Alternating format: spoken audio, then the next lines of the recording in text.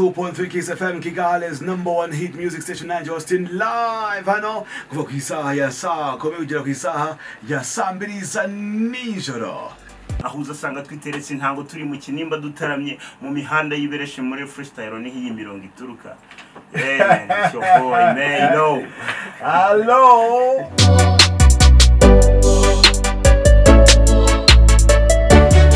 iyi ndirimbo wakoranye na mm, Micho the best. Ni love song cyangwa yes yitwa ayo mahirwe ni ni story igendeye mu bintu bya- by'urukundo ariko eh, iri hagati y'abantu babiri. Niwe uyintroduce ni wowe uba umunyamakuru.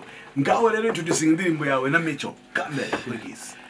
Yes eh, abakurikiye kiss fm eh, ni ku wa gatanu hamwe na mailo eh, mbazaniye indirimbo yakoranye na mico the best yitwa ayo mahirwe umuyumve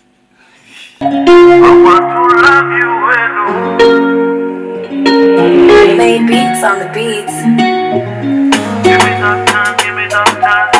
Give me some time, give me some time. Give me some time, give me some time. ndabona ifoto ya couple yacu sibyo mfite umutima w'urukundo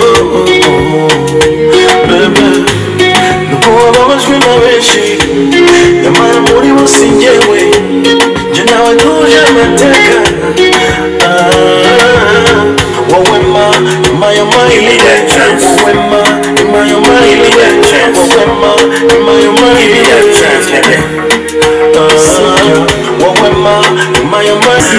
amateka burya namwe ntubifate nk'amashengo. Si ugukabya ibi byabo bunyugururira umuryango w'inkompara nabo babibatumye hurwa gukunda. Ni njyewe nyiri ijambo urusha bose gahunda.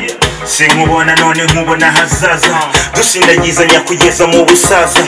W'ibimbata y'amateka ava mu nzozi ishunyemerera ungerageze ubu n'ubuye dosiye hey baby gemera chan funga igitabo cy'amateka duhindure page nk'uwo mutima benomora ibyo bikomeye. Mpayo mahirwe asore ga ntuzagera kurira tinyuka n'ikiganza sinzagusiga nzakurinda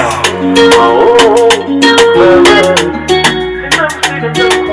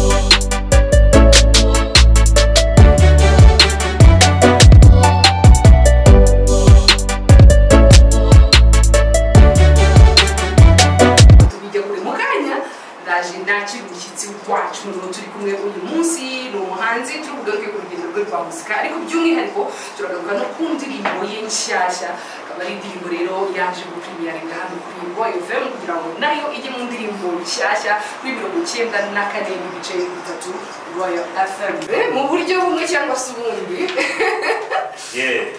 nga amateka burya samwe ntubifate nk'amashyengo no gukabya ibi byabo bunyugururira umuryango w'inkompara nabo babibatumye uhurwa gukunda njyewe nyiri ijambo urusha bose gahunda.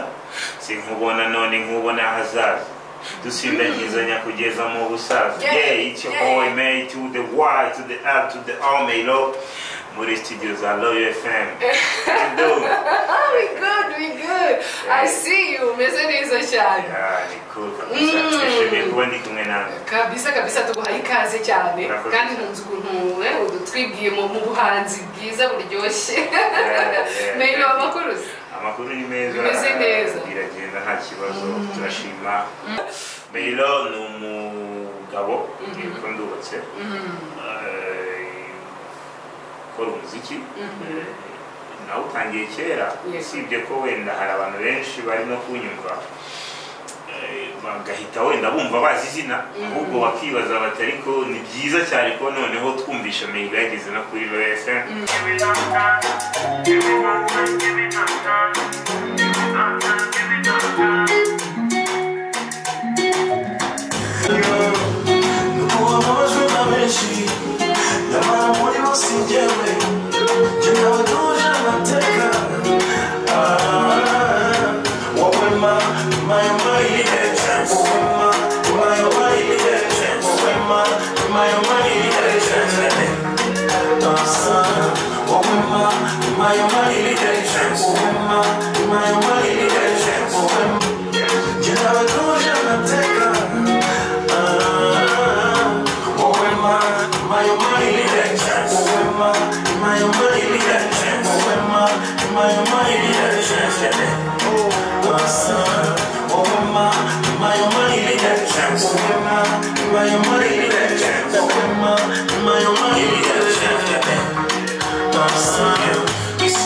mu nzozi turi kumwe. Singukubaganya umugambi tuwugira umwe. Ndifuza kubaka iyo umunezero wawe. Nyemerera kugumana ihame ryanjye ni wowe. Isezerano ni ukugukunda mugira byibikiho give me that chance. Baby try me. Just try me. Guhereza icyo wabuze baby ko kujuje se ibi ni ibiki ni ibiki ko kubera kubyina cyane nkoroye. cyane mbere ngomba kubanza kujya gusoma ku mazi ayo mahirwe ni indirimbo nziza cyane so ni indirimbo nziza and it's a new song hano kuri mirongo icyenda na kane n'ibice bitatu wa fm ebana turakomeza kugenda tuyumva gusa ni nziza igitekerezo cyaje gute kubera ikigo gisemo mico best igitekerezo urabona twayicaye turatekereza dusanga amahirwe ntabwo icyizere cyarabaye gike hagati y'abantu ba- ba- bakundana kandi mu by'ukuri impamvu icyo cyizere cyabaye icyaha impamvu ikomeye y'uko wenda umuntu urabona umuntu iyo ari mwiza avuga ari mwiza ariko ahindurwa n'abandi rero haba hari ishusho y'umuntu wababaye nabuze kubona abantu benshi ahubwo reka babwire bagiye gukora subscribe kuri youtube channel yawe yitwa mimlo ubu nimba nawe utari wakora subscribe. Ubikore kugira ngo ubashe no kureba video ye bari nyine igitangira ihita ugukurura ku buryo umuntu wese uyumvise tugahita uba udashaka kuza kumva noneho n'amagambo ari we so mico ni umwe mu bantu b'abahanga nawe umuraperi mwiza so urumva rero ko byahise bikora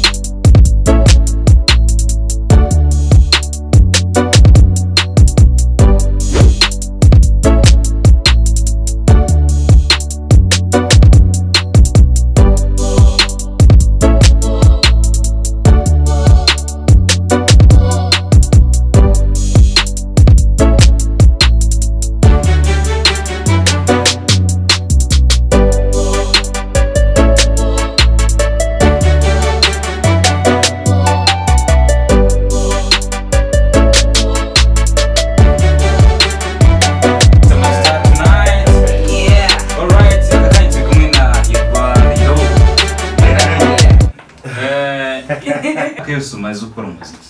Ijwi ni ryarindi bro? Eh, nta kindi kintu nkora. Eh, nkora ariko ntekereza ko ari ya mpano nyine tu. Hari abantu bagira ijwi ritari impano. Eh, njyewe impano mfite n'ijwi ririmo. so anyway navuga ko uh, ufite uburyo utwaramo muzika yawe. Yes. Uh, ubifata gute kubona wenda uh, hagati y'igihangano kimwe n'ikindi hacamo amezi nk'aya ngaya urabona nk'indirimbo ubushize wakoze wayisohoye mu kwezi ngira ngo niba ari uh, ukwa cyenda?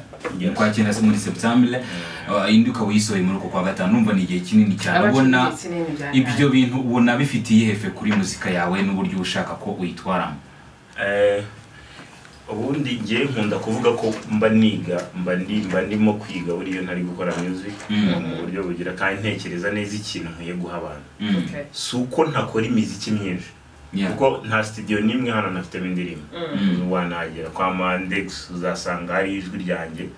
Rifite gahunda yo kuzakorwa mu gihe kizaza. Kwa bns nuko kwa misho nuko. Mm. ahantu hose. Ariko eh, nka making sure ko ikintu ngiye guha abanyarwanda ari ikintu koko gikwiye ko baba babona. Bani ibintu byo kuvuga ngo ndi kuri pressure yo kuvuga ngo ikintu gishya ikintu gishya Mm. eh, kiraza. Mu minsi ibiri bagahita basa nkaho bakibagiwe. Mayor, twagushimira cyane. Murakoze cyane imana ibaha umugisha kandi mwarakoze kutuba hafi turabasaba no gukomeza kutadohoka. Oh, imana ijye murabyari ibazera cyane umugisha inaji radio. Ubundi hano si mu rugo ra This is your Sana. home, bro. ayo mahirwe ni indirimbo nshyashya ya ari kumwe na Mico the Best reka uze kuyumva yose. Hashate nk'amushyengo si ugukabya ibiryo abo bunyugururira umuryango w'inkompara nabo babi batumye uhurwa gukunda. Ni ngewe nyiri ijambo urusha bose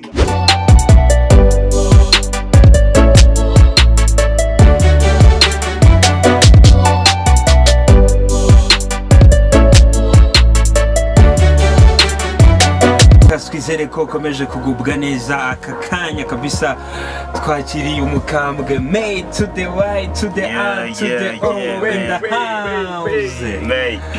mayiro bimeze gute? Fresh bya hatari Minsi myinshi, brother. eh, byadanje kabisa n'iki n'iki inkozi n'iki n'iki promosiyo y'indirimbo imeze gute? Biri kunde ntabwo byoroshye turi gukubagana ngo turebe ko ibintu birambiranye kuba bidakura. Ubikomereje muri star focus.